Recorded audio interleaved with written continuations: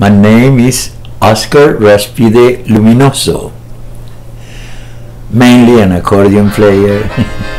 I play several instruments. I'm an artist. I paint some stuff that you can see around me.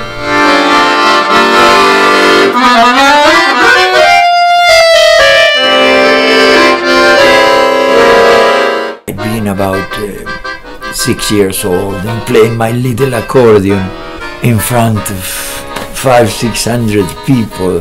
Oh my God! And, and feel that first applause. Wow, that was fabulous. That I got addicted at that early age.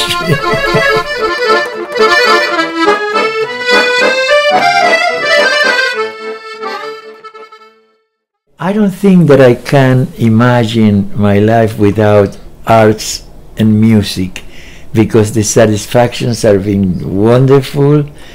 I had the chance to go around the world.